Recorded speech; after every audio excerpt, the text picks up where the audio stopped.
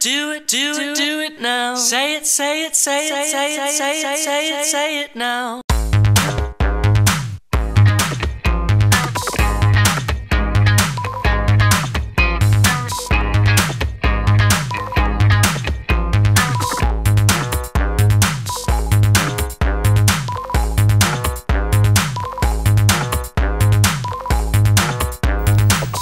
Einen wunderschönen guten Tag, meine sehr verehrten Damen und Herren. Herzlich willkommen zu Johansen, dem Talk. Mein Name ist Lars Johansen und wir haben Spezialtalk und zwar zur Bundestagswahl. Die Kandidaten und Kandidatinnen, Kandidatinnen muss man wohl in dem Fall nur sagen, die für den Bundestag direkt kandidieren bei Parteien, die im Landtag oder Bundestag vertreten sind. Ich freue mich sehr, dass von der Linken heute da ist Rosemarie Hein. Herzlich willkommen. Einen schönen guten Tag. Schön, dass Sie Zeit gefunden haben. Sie sind ja sozusagen letztes Mal direkt gewählt worden, was ja dort, glaube ich, eine Premiere war für die Linke in Magdeburg. Äh, ist das wieder angestrebt, natürlich zu wiederholen? Ja, natürlich bemühe ich mich wieder um das Direktmandat. Das war eine, ein, ein so, eine so grandiose Sache. Ich habe es ja auch bis abends um halb elf nicht glauben wollen. Und äh, es, es war für mich eine, eine große Ehre eine große Verpflichtung und solche Verpflichtungen muss man versuchen zu wiederholen. Also da würde ich schon ganz gerne, dass es wieder klappt mit dem Direktmandat und ich weiß natürlich auch, dass es diesmal deutlich schwerer werden wird. Was ist denn in der Zeit in Berlin passiert? Haben Sie sich verändert? Hat sich für Sie was verändert? Und äh, was haben Sie das Gefühl für sich, wo Sie sagen, das habe ich auch erreicht ein bisschen? Also ich glaube, dass man das selber gar nicht so sehr empfindet, wie man sich verändert. Ich glaube, dass andere viel mehr empfinden oder viel mehr sehen, wie man sich selber verändert hat. Aber ich denke schon, dass mich diese Zeit in Berlin auch geprägt hat. Ich habe ja vorher viele Jahre im Landtag gearbeitet. Ich habe Stadtratserfahrungen schon mit einbringen können. Und ich muss sagen, das war schon eine tolle Umstellung, was es in Berlin ganz anders ist. Das ist einmal der Rhythmus zwischen Berlin und Magdeburg hin und her. Eine Woche da, eine Woche hier. Im Schnitt die Hälfte des Jahres in Berlin zu sein. Und dann hier aber auch manchmal etwas zu verpassen. Das kommt natürlich auch dazu. Dann die ganz andere Art des Arbeitens. Also wenn wir im Landtag noch in den Ausschüssen diskutiert haben und dort noch Veränderungen hinbekommen haben, ist das in Berlin so gut wie nie der Fall wenn man da eine Veränderung in einer Sache hinbekommen will, muss man es vorher machen. Also da läuft die Sache, die Debatte zwischen den Fraktionen und die Ausschüsse sind dort ähnlich wie hier auch die Plenardebatten im Landtag mehr ein Schlagabtausch. Da werden die Statements vorgetragen der Fraktionen und da gibt es wenig Debatte, das was ich hier noch kannte und was im Stadtrat gang und gäbe ist. Mhm. Da muss man sich sehr dran gewöhnen, dass man das alles gar nicht mehr hat und dann trotzdem etwas bewirken will. Und deshalb äh, ist das eine völlig andere Art des Arbeits gewesen, muss ich mich eine Weile dran gewöhnen. Und es war auch eine andere Art des Arbeitens innerhalb der Fraktion. Also wir haben ja Unmengen von Anträgen gestellt. Und um die eigenen, die bildungspolitischen Anträge, für die ich ja stehe, eben entsprechend auch zu platzieren, musste man ganz anders arbeiten zumal Bildungspolitik ja bekanntlich kein Bundesthema ist. Ja. Das war doch eine dolle Umstellung. Ich, ja, ich denke, ich habe mich da inzwischen reingefunden und auch ein bisschen was zustande gebracht. Also ich sage mal, mein erster Antrag war der zur Aufhebung des Kooperationsverbotes. Ich weiß, dass man den Begriff immer erklären muss, also zwischen in der Bildung dürfen Bund und Länder nicht miteinander zusammenarbeiten. Mhm. Deshalb fließt kaum direktes Geld vom Bund in Bildungsprojekte. Also in Projekte schon, aber nicht in die Schulen. Und das ist etwas, was die Leute auch aufregt, dass der Bund da fast keine Verantwortung hat und immer alles auf die Länder geschoben wird. Und dann wird über die 16 unterschiedlichen Schulsysteme geschimpft, die so unterschiedlich wieder auch nicht sind. Aber man empfindet es so. Und äh, da finden wir schon, dass äh, die Entscheidung, die 2006 getroffen worden ist, dass es gar keine keine Zusammenarbeit auf diesen Gebieten mehr gibt, dass das falsch ist. War mein erster Antrag, der ist in der letzten Sitzungswoche im Bundestag dann auch irgendwie wieder verabschiedet worden, also abgelehnt natürlich. Mhm. Also das sind so, das sind so Dinge, wo ich sage, wir haben aber was in Gang gebracht. Es haben alle Oppositionsparteien Anträge dazu gestellt, aber die Regierung bewegt sich nicht. Und die Länder bewegen sich leider auch zu wenig. Das ist auch gleich ein gutes Stichwort Länder, Bund und Bildung. Das ist ja immer noch, Bildung ist Ländersache, ist ja auch so aufgeteilt. Ist das gut oder wäre es doch vernünftiger, dass es durchaus eher bundesweite Regelungen bei einigen Dingen gibt? Oder kegelt das zu sehr dieses, diese, diese Bundesstaatlichkeit mit aus? Also wir brauchen auf jeden Fall mehr Vergleichbarkeit. Es kann nicht sein, dass wir hier einen Abschluss machen, der wird in Bayern nicht anerkannt. Oder in Hamburg wird ein Abschluss gemacht und der wird in Baden-Württemberg nicht anerkannt. Das, glaube ich, funktioniert nicht. Oder jemand zieht um innerhalb zwischen zwei Schuljahren und stellt dann fest, dort ist der Lehrplan völlig anders gestrickt, als man das selber gelernt hat.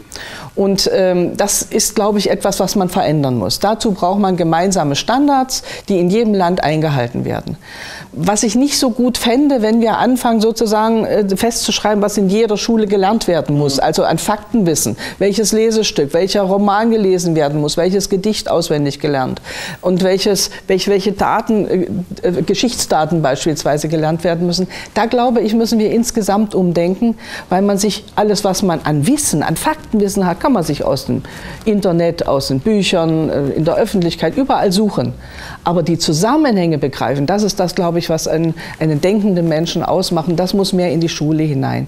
Dazu braucht man nicht unbedingt alles identische Lehrpläne, aber es muss vergleichbar sein. Und das ist, glaube ich, momentan nicht der Fall. Aber das viel größere Problem ist noch, dass wir zu wenig Geld in der Bildung haben. Und die Länder stecken zwar eine ganze Menge hinein, manchmal auch noch zu wenig, wie ich finde, aber sie stecken eine Menge hinein, aber der Bund beteiligt sich daran so gut wie gar nicht. Also wenn wir Inklusion in der Bildung wollen, kann man das nicht den Ländern und Kommunen überhelfen. Das ist eine, das ist ein, ein, eine UN-Behindertenrechtskonvention, das ist weltweit gültig, da hat die Bundesrepublik eine Verantwortung und da muss sie mitfinanzieren. Das tut sie zurzeit nicht und das halten wir für falsch ähm, zumindest bei der kulturellen Bildung hat man zumindest versucht, jetzt ein bisschen mehr Geld ja rauszureichen. Ist das nur ein Tropfen auf den heißen Stein oder ist es wenigstens ein guter Anfang schon mal gewesen? Naja, wenn Sie auf dieses Programm Kultur macht stark abzielen, was die Bundesregierung, ja. ja, es sind mehrere solche Programme, mhm. die meisten solcher Programme laufen aber gar nicht über das Bildungsministerium, sondern über das Sozial- oder über das Jugendministerium. Mhm. Also das ist auch schon mal so was also Bildungs- und Teilhaberpaket beispielsweise. Damit hat das Bildungsministerium gar nichts zu tun. Aber dieses Programm Kultur macht stark, damit haben sie was zu tun. Aber sie können wieder nicht Schulen finanzieren. Sie können nicht Vereine vor Ort direkt finanzieren, sondern sie gehen den Umweg über Verbände, über große bundesweit agierende Verbände. Und ich weiß zum Beispiel, dass in Magdeburg davon noch nichts angekommen ist. Und das sind immerhin im Jahr 50 Millionen, die da ausgereicht werden. Das ist nicht furchtbar viel, aber es ist mehr als nichts.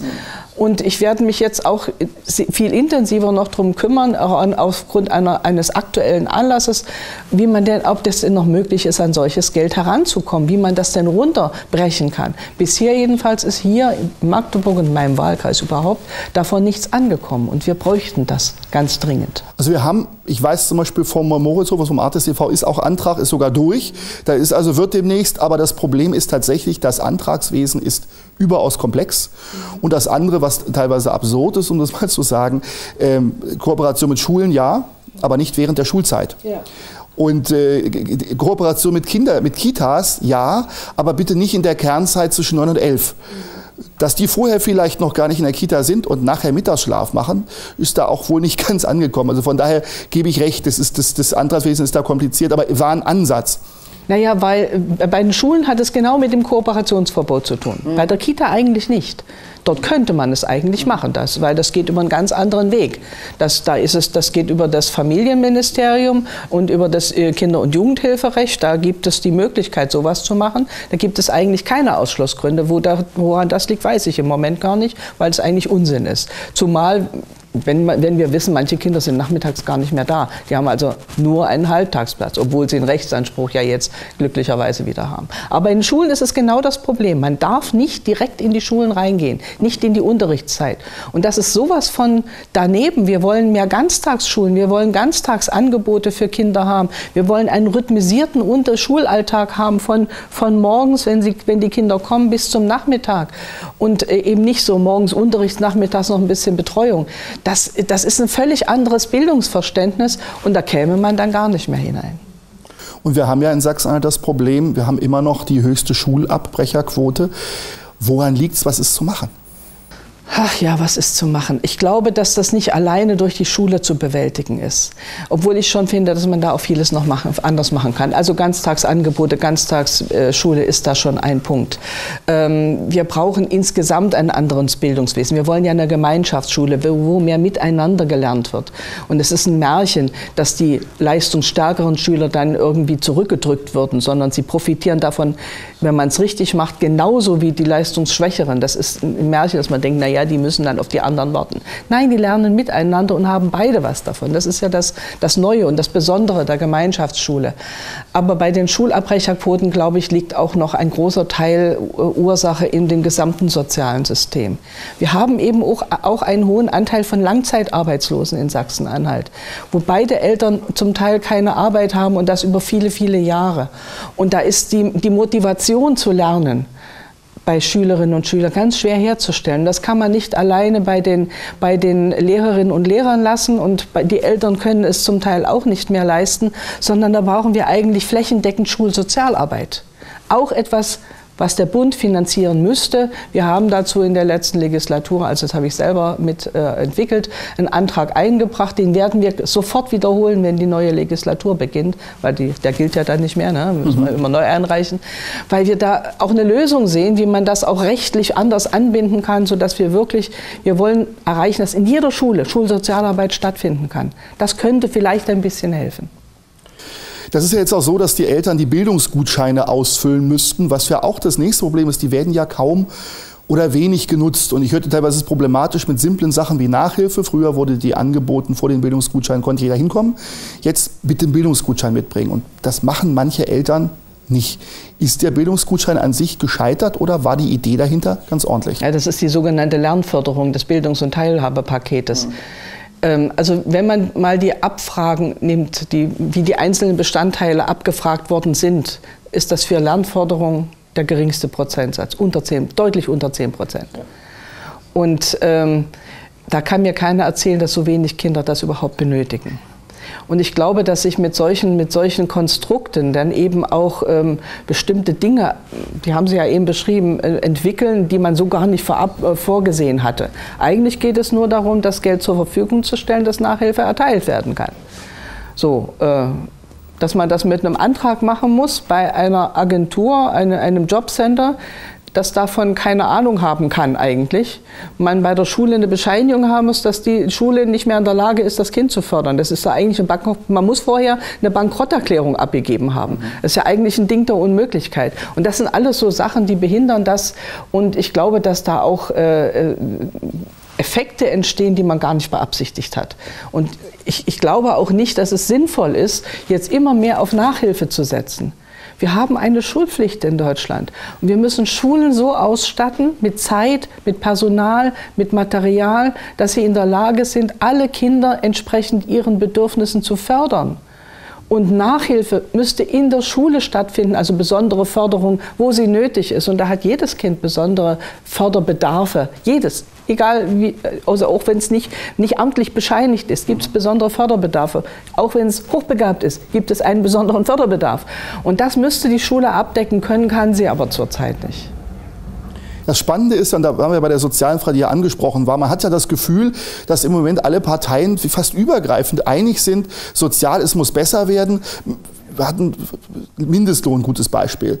Äh, was sagen Sie denn? Mittlerweile sagen ja alle, selbst die CDU sagt Mindestlohn große Freude oder gibt es immer noch Unterschiede? Na, große Freude sagt die CDU noch nicht, aber immerhin. Bei Ihnen meine ich jetzt. Das jetzt so, sagen, Mensch, schön, die CDU ja. hat zugelernt, auch die wollen ja. Mindestlohn, alles wird gut. Äh, ja, also ich will mal sagen, dass es jetzt ein Thema ist, das nehme, äh, schreibe ich auf unsere Fahnen. Das ist, glaube ich, auch das Verdienst der Linken im Bundestag und in der Öffentlichkeit immer dafür geworben zu haben, es muss einen gesetzlichen Mindestlohn geben. Da waren ja am Anfang sogar die Gewerkschaften dagegen. Es muss einen geben, sonst schaffen wir hier einen Niedriglohnbereich und den haben wir ja schon.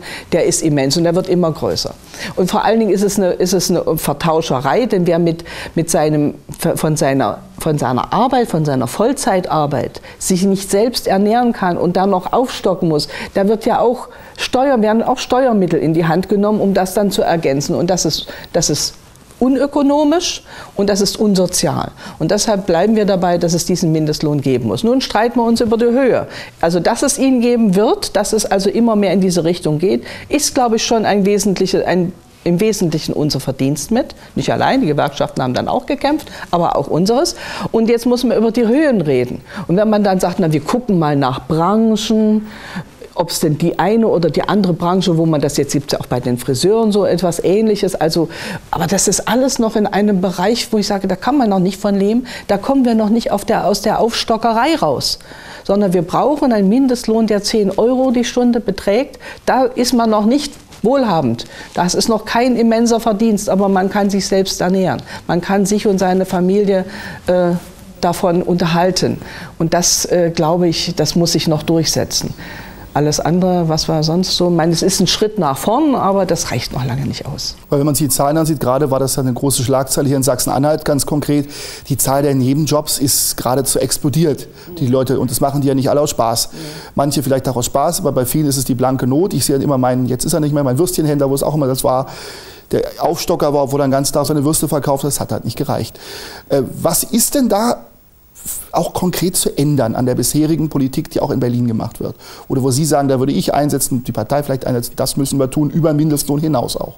Ja, ich glaube, wir müssen Leiharbeit und diese ganzen, die, diese ganzen Scheinselbstständigen und Werkverträge, die momentan ausgenutzt werden, um Lohn zu sparen, um Lohndifferenzen auszunutzen für die Profitmaximierung, das müssen wir wegbekommen. Also wir müssen Leiharbeit begrenzen. Wer es, es, mag sein, dass es ein Unternehmen gibt, das sagt, ich habe jetzt hier eine Spitze, ich kann mir, dieser Auftrag ist aber endlich, ein Großauftrag ist aber endlich, ich kann jetzt nicht hier Leute einstellen, ich muss sie hinterher wieder entlassen.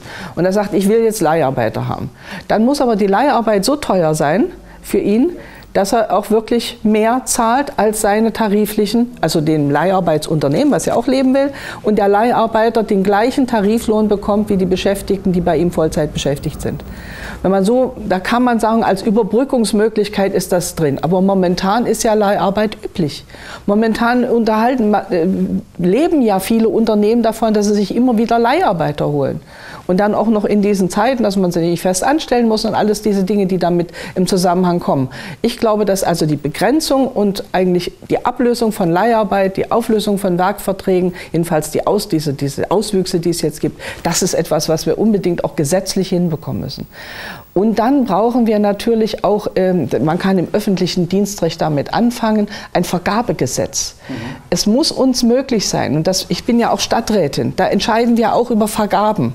Es muss uns möglich sein, unsere Vergabe, unser Vergaberecht daran zu binden, dass das Unternehmen inklusive die Subunternehmen Tarif zahlen. Und wenn wir solche Sachen hinbekommen, dann kann man eine ganze Menge auch verändern, was die soziale Situation in Sachsen-Anhalt betrifft. Wobei ja die, das ist ja das, da, beißt sich die Katze in den Schwanz, die Länder, Städte müssen ja auch wieder sparen und nehmen immer den billigsten Anbieter. Ist das denn tatsächlich von übel, wenn sie den billigsten nehmen, weil genau das passiert? Naja, wir zahlen dann als Stadt, Kommune und Jobcenter was drauf. Hintenrum, was, was, ist, was, ist, was ist das? Das ist von der linken Tasche. Wir, wir rechnen uns die Welt schön. Das ist doch nicht das, was man haben muss und haben kann. Und vor allen Dingen muss man daran denken, wenn wir es schaffen, diese Lohnspirale umzudrehen. Momentan dreht sie sich nach unten. Wir müssen sie nach, also jetzt ist sie vielleicht ein bisschen stagniert. Es geht langsam wieder nach, nach oben. Wenn wir das nicht umdrehen, diesen Teufelskreis, dann landen wir, ja, ich weiß nicht, in einer sehr gefährlichen Armut. Wenn wir es aber umgedreht bekommen, haben wir einen Effekt, der heißt, die Leute können sich selbst ernähren, sie zahlen Steuern, sie können beim Handwerker einen Auftrag, beim kleinen Handwerker um der Ecke, ob es der Fahrradfritze oder der, Fensterbauer ist, einen Auftrag abgeben, der wird abgearbeitet, bringt Gewerbesteuereinnahmen und und und. Also man, man bekommt einen völlig, eine völlig andere Einnahmesituation, auch für die unter kleinen Unternehmen vor Ort und für die Kommune. Das ist am Ende für alle besser. Also im Prinzip, wenn wir uns weiter auf diese Logik einstellen, wir müssen den Gürtel ein Stück enger schnallen, weil es nicht reicht, und dann reicht es noch ein bisschen weniger, müssen wir noch ein bisschen enger schnallen, das wird nichts werden. So kommen wir aus diesem Teufelskreis nicht raus. Wir müssen das umdrehen. Nun sagen die Firmen auf der anderen Seite, ja, ja, aber uns fehlen halt Fachkräfte. Was ist denn mit diesem Fachkräftemangel? Ist das ein Argument? Und was ist da zu tun vielleicht auch? Oder gibt es da Vorschläge, Ideen? Ja, also da muss, ich, da muss man mal gucken. Das ist, das ist ein bisschen subtiler, das Thema. Weil ich glaube, dass die, zum Teil machen sich die Unternehmen was vor. Die haben in den Zeiten, in denen, sie, äh, in denen es einen Überschuss an Bewerberinnen und Bewerbern gab, haben sie immer die Besseren genommen, bis hin zum Abitur, die mit den höchsten Durchschnitten. Wir hatten eine Überhangquote äh, mit, mit guten Abschlüssen. Mhm. So. Jetzt sind die alle weg. Jetzt haben wir im Prinzip eine Lücke. Jetzt stehen aber alle die noch auf der, äh, auf der Warteliste, die sozusagen schlechtere Voraussetzungen von der Schule mitbringen. Und da sagen die, äh, die, die Unternehmen, die können wir nicht gebrauchen. Es ist jetzt schon so, dass die Unternehmen teilweise auch umdenken und sagen, wir nehmen sie und wir machen selber etwas dafür, dass sie ausbildungsfähig werden oder dass sie den Anforderungen gewachsen sind. Mhm. Das ist das eine, das will ich auch positiv anmerken. Recht haben die Unternehmen an der Stelle, wo sie sagen, die Schule bringt nicht mehr das an Ergebnissen, was wir eigentlich erwartet haben und was wir erwarten konnten früher. Das hat wieder zu tun mit der Gliederung des Schulsystems. Wir haben uns eingebildet, also wir an uns nicht, aber viele haben sich eingebildet mit der Gliederung in unterschiedliche Abschlussniveaus, Hauptschule, Realschule, Gymnasium. Äh, dann würde man begabungsgerecht jede, alle fördern. Das Gegenteil ist der Fall. Die unteren Abschlüsse gehen im Niveau immer weiter nach unten. Man passt sich eigentlich, das ist so ein logischer Effekt, man passt sich eigentlich ein bisschen auch dem Niveau an. Und das ist kein, keine Schelte für Lehrerinnen und Lehrer, die geben sich die größte Mühe dabei. Sie schaffen das aber nicht, weil eben dieser Austausch gar nicht mehr da ist, der Anreiz nicht mehr da ist. Und damit sind die Abschlüsse auch deutlich schlechter geworden in den letzten Jahren. Auch das muss man verändern. Man muss also die Qualität von Abschlüssen verbessern und man muss den Unternehmen sagen, Unternehmen, ihr müsst bitte schön auch mit den Jugendlichen umgehen, die da sind.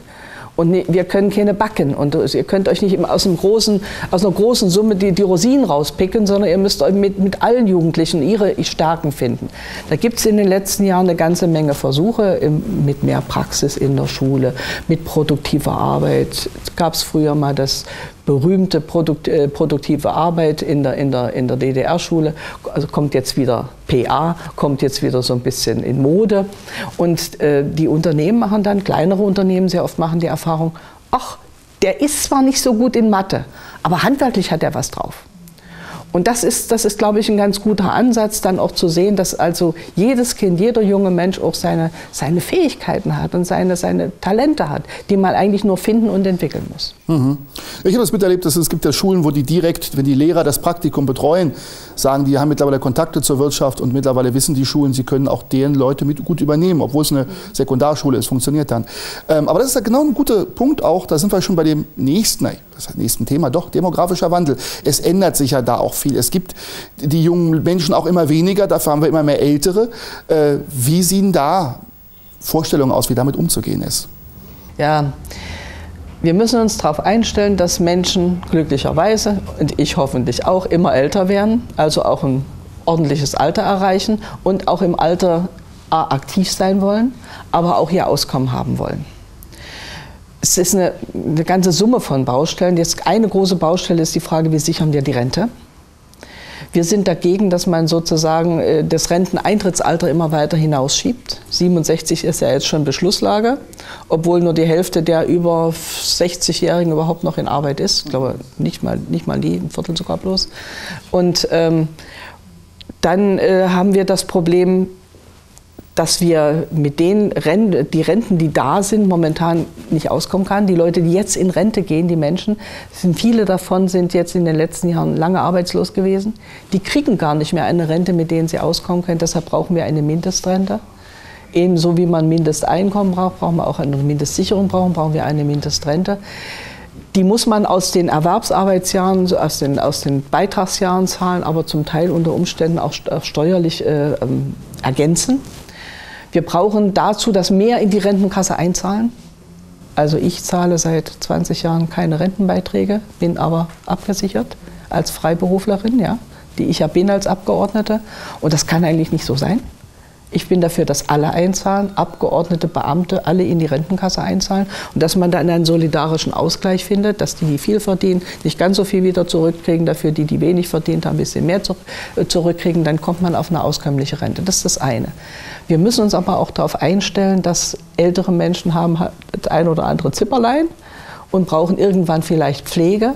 Und das ist auch ein ganz großes Thema, dass wir in der Pflege für ältere bedürftige Menschen, also pflegebedürftige Menschen etwas tun müssen.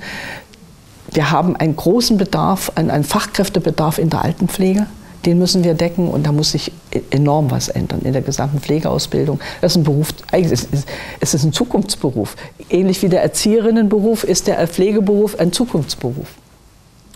Was ist denn da zu machen? Also ist ja dann die Frage, wie kriegt man das, also äh, ich weiß, es ist so viel verlangt, man muss es ja gar nicht wissen, aber sehen Sie Möglichkeiten, was man da ändern könnte, damit auch mehr Leute in den Pflegeberuf gehen? Weil es ist ja immer ein Problem, dass viele das gar nicht machen wollen, weil es natürlich anstrengend ist und natürlich nicht so üppig bezahlt, wie es eigentlich auch angemessen da wäre. Sie, da sagen Sie schon das Richtige. Also erstens ist es ein anstrengender Beruf. Er ist körperlich, er ist psychisch nicht so ohne und äh, er wird nicht so besonders gut bezahlt. Wie alle diese sozialen Berufe. Das betrifft auch den, den, die Erziehungsberufe, alle diese Pflegeberufe, nichtmedizinischen Heilberufe, die massenhaft gebraucht werden, betrifft das. Und da glaube ich schon, dass man da auch tariflich etwas machen muss. Es muss besser bezahlt werden, diese Arbeit gegenüber den Wolfsburger äh, Autobauern beispielsweise. Also der nehme ich jetzt mal als Beispiel, die recht gut verdienen. So, nun muss das nicht alles identisch sein, aber ich glaube, angemessen bezahlt werden muss es schon. Das heißt, wir brauchen da tatsächlich auch mehr Geld im System, damit mehr, also eine tarifliche Angleichung, damit mehr dafür, äh, dass, dass man mehr damit verdienen kann. Also das ist ganz wichtig und da muss man Ausbildungsplätze schaffen. Das sind äh, duale Ausbildungsplätze zurzeit aber in einer anderen Art und Weise. Also nicht wie beim Handwerker mit Berufsschule und, und, und Lehrvertrag, sondern man ist dann in einer alten Pflegeeinrichtung äh, mit dem Ausbildungsplatz besch äh, beschäftigt und bekommt auch, das ist anders geregelt, gibt es ein extra Gesetz dafür. Und wir brauchen unbedingt mehr Ausbildungsplätze in diesem Bereich. Das Spannende finde ich ja, das ist ja bei der, ich finde es bei den Kitas interessant, dass immer mehr Studium auch verlangt wird von den dort Beschäftigten, was ich für diskutabel halte. Ich finde es toll, dass Leute hier Kinderwissenschaften, heißt es glaube ich sogar, Kindheitswissenschaften. Kindheitswissenschaften studieren können. Aber äh, wenn ich mit Kita die in der Kita arbeiten, spreche, sagen, dieses Problem ist, es gibt Menschen, die können mit Kindern gut umgehen und es gibt Menschen, die können das nicht. Das ist bei manchen auch einfach schon natürlich so. Die können fünfmal das lange studiert haben, sie müssen es nicht können. Ist das, ist das einerseits gut, dass das auch alles jetzt studiert werden kann oder ist das auch wieder ein Nachteil, weil es ja doch gewisse Leute fast schon ausschließt wieder? Hm. Wir haben, glaube ich, in diesem Bereich eine komische Philosophie.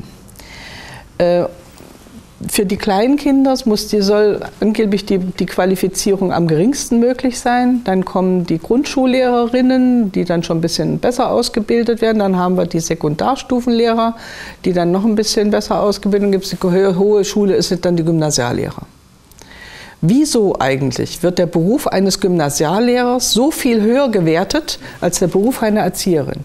Das ist nicht zu, nicht zu erklären, nicht zu verstehen. Die müssen genauso viel wissen. Die müssen ein unglaubliches pädagogisches Geschick haben ich nehme mal die Grundschullehrerin mit dazu. Ich habe da eine riesen Hochachtung davor, was sie leisten müssen und auch leisten, pädagogisch, auch vom Wissen her, von dem, wie sich ein Kind entwickelt. Das ist für mich nicht weniger wert als bei einem Gymnasiallehrer. Und deshalb halte ich es für angemessen, diese Ausbildung auch auf ein Hochschulniveau hin zu heben. Wir hatten zu DDR-Zeiten zumindest ein Fachschulniveau. Bei uns gab es ja noch diese Stufe dazwischen, zwischen der normalen Berufsausbildung und ein dreijähriges Studium. Das war bei Krankenschwestern, Erzieher, Erziehungskräften war das ein dreijähriges Studium. Allerdings ohne Abitur war das möglich und es war aber anders gewertet. Und ich glaube, wir müssen in diese Richtung wieder hin. Ähm, das bedeutet natürlich auch, dass es besser bezahlt werden muss. Ich will aber auch auf ein Problem aufmerksam machen. Das andere, was, was auch so ein bisschen im Kopf immer ist, ist das Studium, das machen wir alles schön theoretisch. Und äh, man hat dann von der Praxis keine Ahnung. Mir nützt ein Sozialpädagoge nichts, der eine Eins in seinem Abschluss hat, aber nicht weiß, wie er sozialpädagogisch mit den Menschen umgeht, der das nicht kann. Wir brauchen also in all diesen Erziehungsberufen, gerade auch der, Lehrer, der Lehrerberuf ist da ganz prädestiniert für, viel mehr Praxis.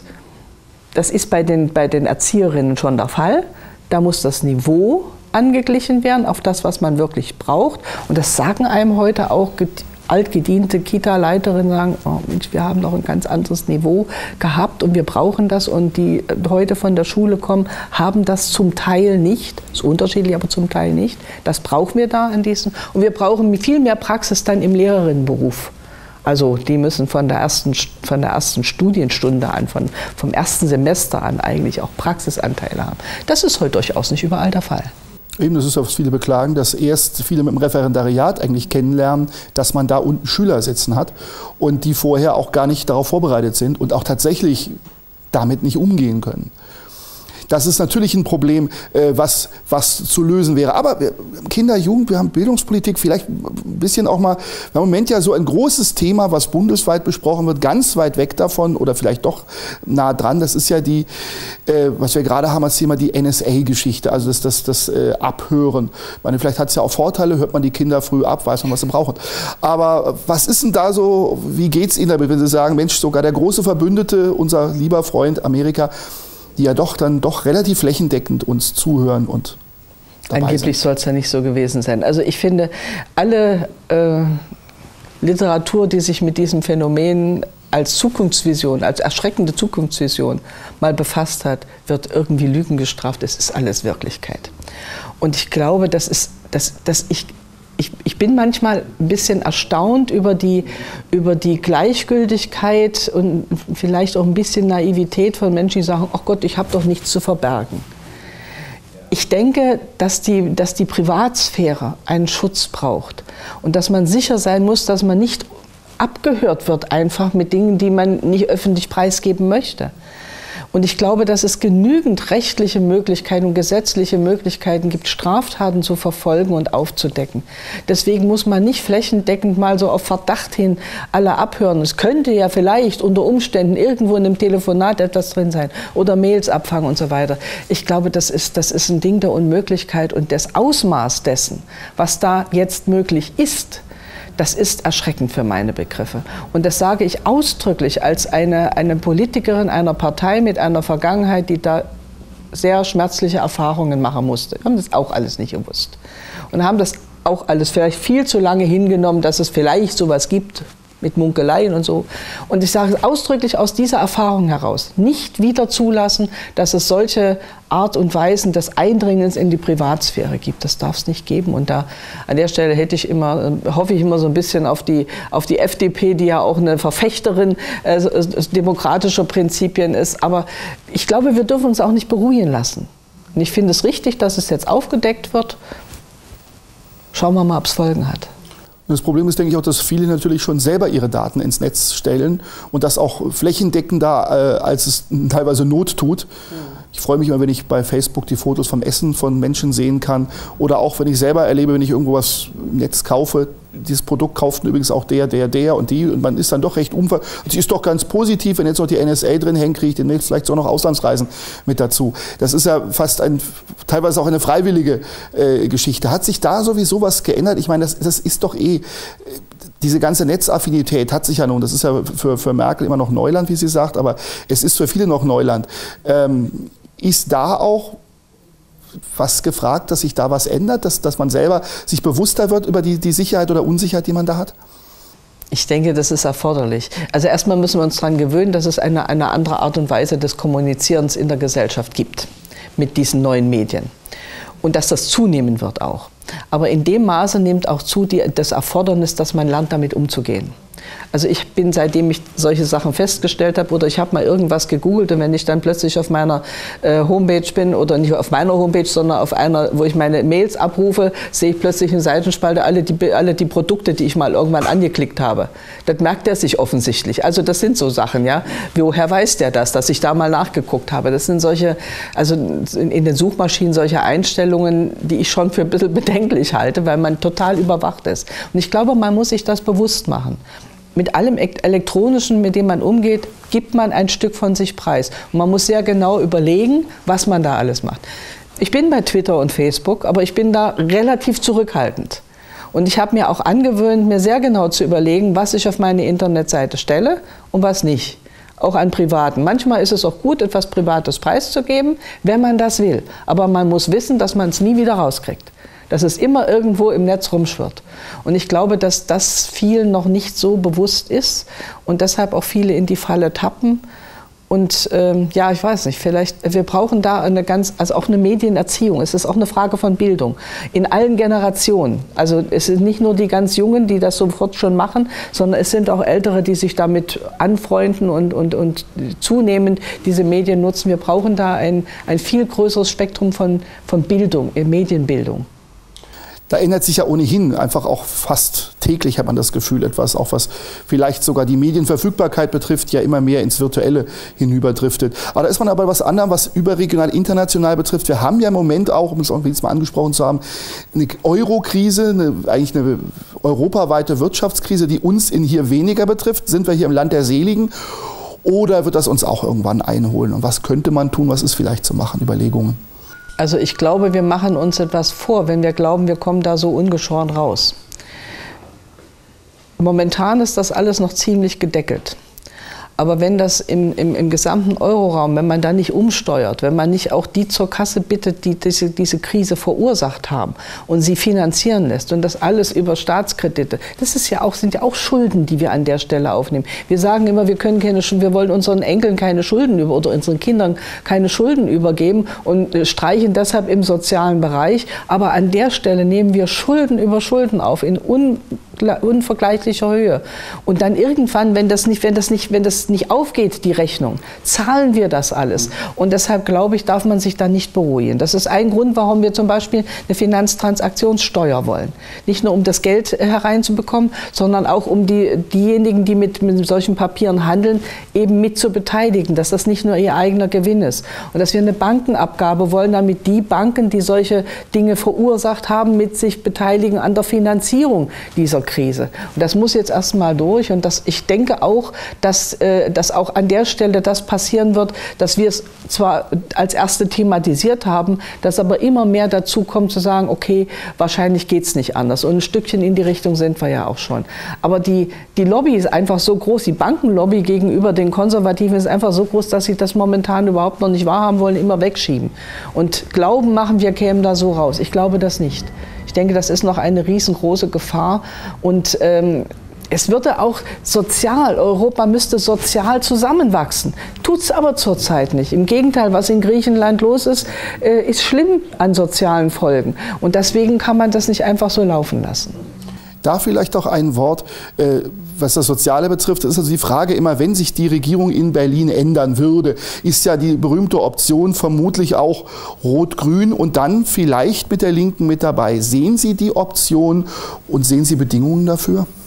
Ja, wir haben da schon Bedingungen dafür. Also wir werden uns nicht bloß, um an einer Regierung beteiligt zu sein, in irgendeiner Weise da hineinbegeben. Und momentan sieht das ehrlich gesagt eher schlecht aus. Also eine, eine, eine Regierung, die weiter Kriegseinsätze befürwortet und damit abstimmt, das geht nicht mit uns. Das geht gar nicht. Dieser Bankenrettungsschirm ist das nächste. Wenn es da kein Umsteuern gibt, das geht mit uns nicht. Und da ist die gesamte Hartz-IV-Gesetzgebung, die ja von Rot-Grün entwickelt worden ist, die geht mit uns auch nicht. Also es gibt momentan so viel Hemmschwellen, wo wir sagen, damit, da können wir nicht mitgehen. Es muss an der Stelle eine grundsätzlich andere Politik erfolgen. Dann können wir an den Stellen, wo es Übereinstimmung gibt, gemeinsam etwas machen. Aber das sehe ich ehrlich gesagt im Moment nicht, so wie sich SPD und Grüne verhalten, glaube ich nicht, dass es im Moment möglich ist. Also sehen Sie dann doch eher sich auch in Berlin in der Opposition immer noch dann? Ich denke, das ist so, dass wir in den nächsten vier Jahren in der Opposition sein werden. Und wir haben ja eine ganze Menge aus der Opposition heraus angeschoben. Und ich bin be bekanntlich eine Befürworterin von Regierungsbeteiligung, das will ich gar nicht leugnen. Haben wir hier in Sachsen-Anhalt mit acht Jahren Tolerierung ja auch gezeigt, dass das durchaus alles geht. Und wir haben in anderen Bundesländern das ja auch schon praktiziert und gar nicht so erfolglos, ähm, wie man meistens das hinterher merkt. Und äh, ich, ich denke aber, dass es momentan Illusion ist zu glauben, wir könnten dort in Berlin einfach mal so bei dieser NATO-Strategie, bei dem, was da im momentan auch an Kriegseinsätzen immer und immer wieder befürwortet wird, das ist für uns momentan keine Option. Da muss sich entschieden etwas ändern. Wenn das ist, dann kann man darüber reden, wie groß die Schnittmengen sind. Wir wollen einen Politikwechsel, nicht nur an der Regierung kommen, wir wollen einen Politikwechsel haben. Und wenn ein Politikwechsel in diese Richtung möglich ist, dann kann man darüber reden, aber erst dann. Das ist fast schon ein gutes Schlusswort, aber das will ich natürlich noch lassen. Gibt es etwas, was Sie zum Schluss noch sozusagen den Menschen mitgeben wollen würden? Ich wünsche mir, dass sich Wählerinnen und Wähler zum ersten ganz aktiv an der Wahl beteiligen, dass sie hingehen, dass sie nicht glauben, ach Gott, die Stimme ist eh verloren, ich habe keine Lust und das Wetter ist schön. Man kann übrigens auch Briefwahl machen, dann spart man sich den Sonntag, das kann man auch tun. Und ich wünsche mir, dass sie bewusst wählen, dass sie genau wissen, warum sie wem ihre Stimme geben. und immer auch mit ein, ein Augenmerk drauf haben, was ist denn in den letzten vier Jahren passiert, wer hat was gemacht, wer hat etwas umgesetzt, wo ist es äh, hingegangen mit der Politik und was will ich persönlich haben. Und dann wünsche ich mir natürlich beide Stimmen für die Linke. Ich danke Ihnen herzlich für das Gespräch. Do it, do it, do it now. Say it, say it, say it, say it, say it, say it, say it now.